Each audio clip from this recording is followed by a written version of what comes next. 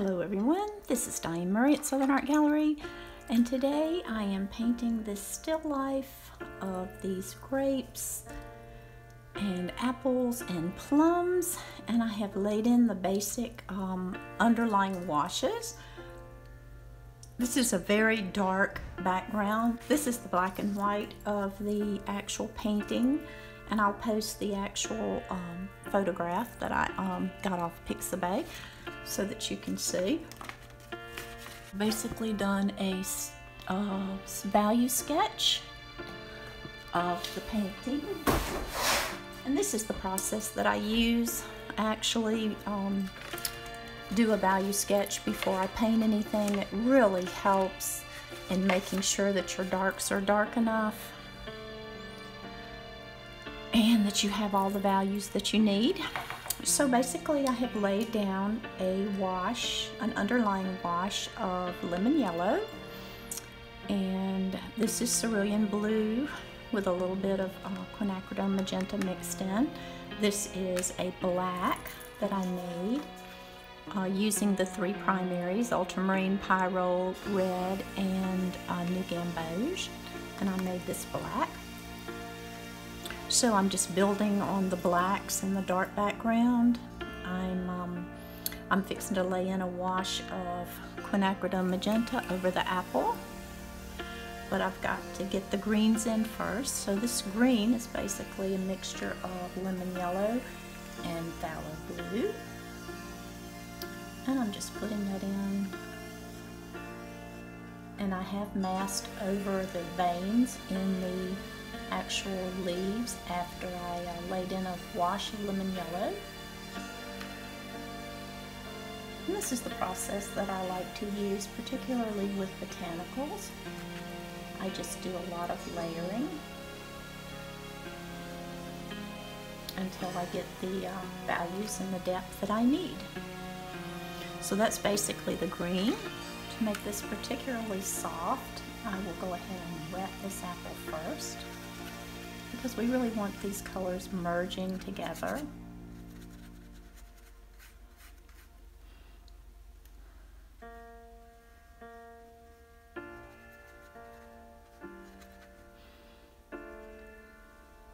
So do a little bit of the Quin Magenta going with the shape of the apple and where it touches the yellow it will uh, merge a little bit and make a little bit more of an orange color.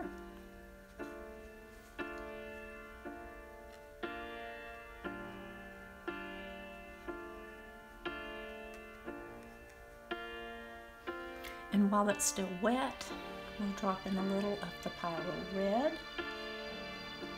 because it is a red apple.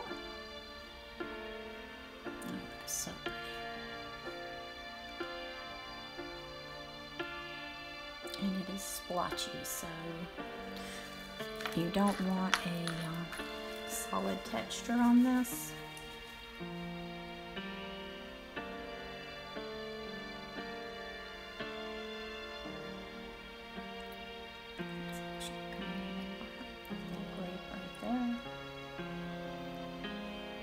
Because this this apple has a mottled look so I'm going to keep that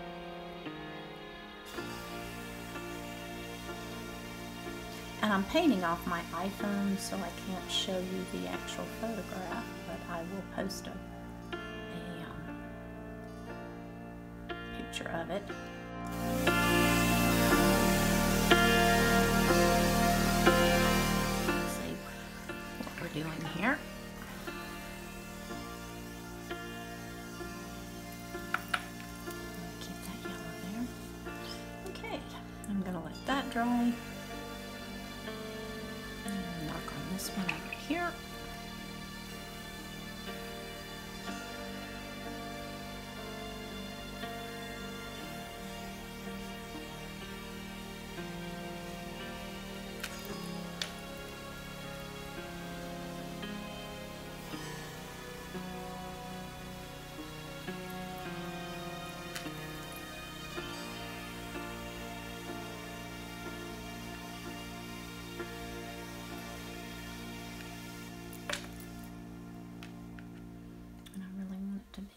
Soft.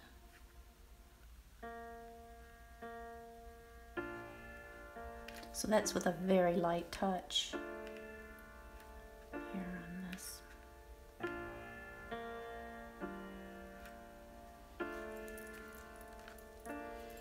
Okay. Then we'll move over to the plums and the plums have a very, very dark red. They're also very mottled. And they've got a red here.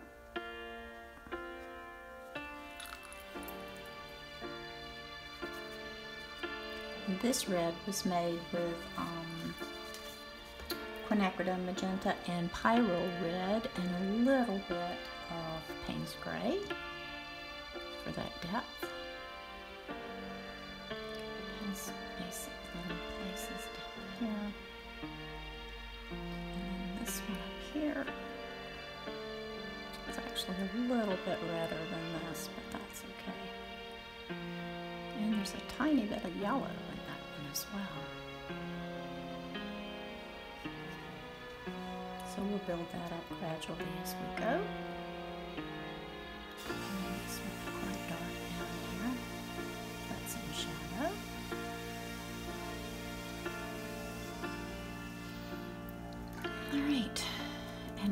Take and go straight in with a, a cerulean blue mixed with a little bit of the um, magenta.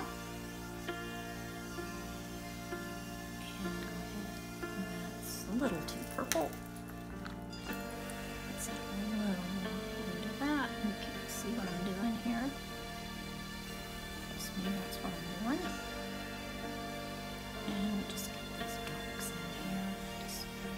just wet into wet here.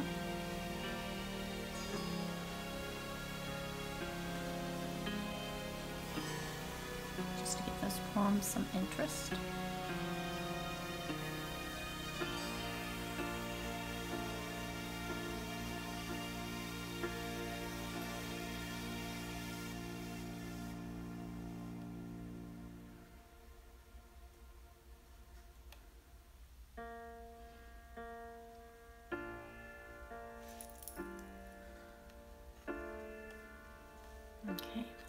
Those dry a little bit. Okay, so that's our plums. We actually have one grape over here, which is quite uh, of a magenta color.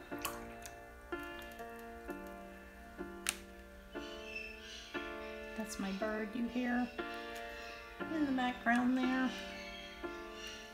So I'm just going to let that settle in right there.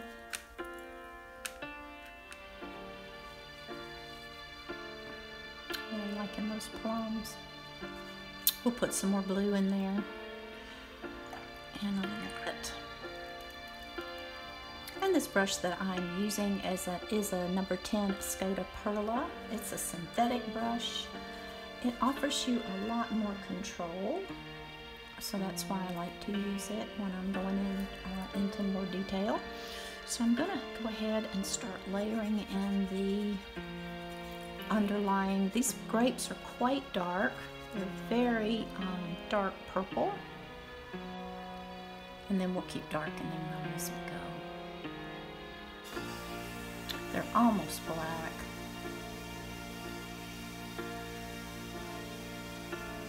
and they have what's called a bloom on top of them, which basically is um, characteristic of grapes.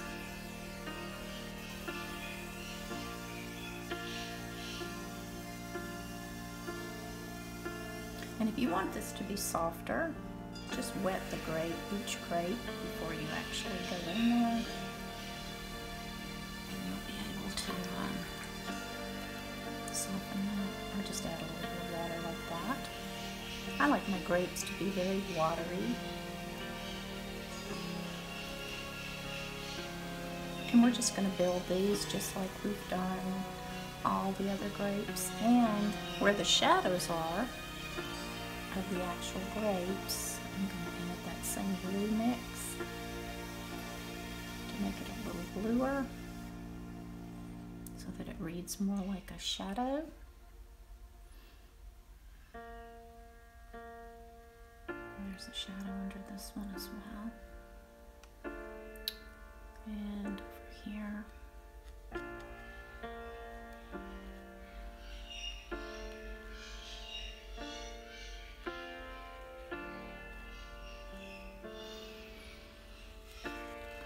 And that's just how I do it. Just keep working them until you get them. Um, there'll be many layers on these grapes. And if you lose your highlights, just blot it out. Grapes are very, these grapes are very modelly, so they really need to be modeled. Like this, so generally that's what I do when I come in and work them.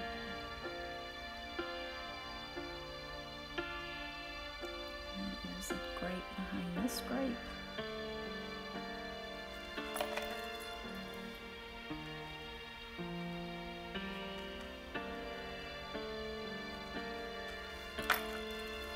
And if you just go around and just do, you know, just continuous layers like this, softening as you go, you won't get any really harsh lines.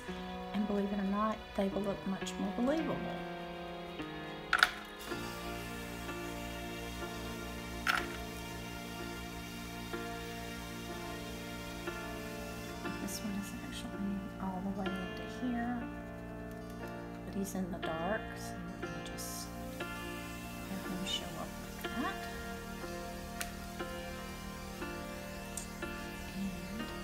Another way you can do this is to just put the darks in, clean your brush, and then just touch the lights. If you want to do it that way, that makes a nice look also.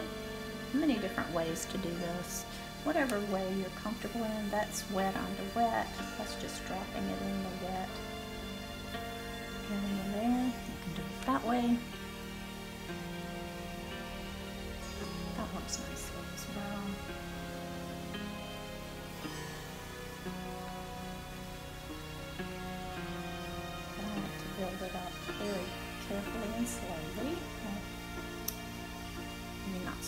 But it's definitely slowly. And that one has a shadow down under there. And that one has a very dark area in there.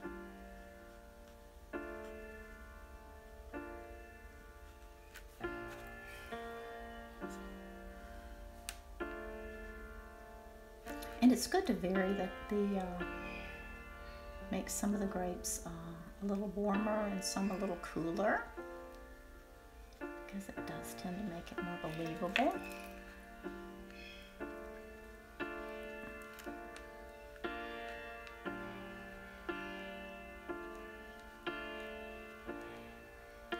exactly what's happening in there, so I'm just kind of.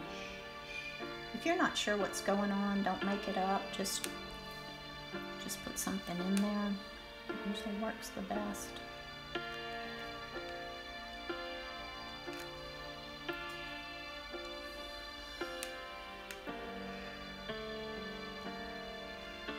Where you have grapes, the ones that are behind are of course darker than the ones in the front that are getting more light.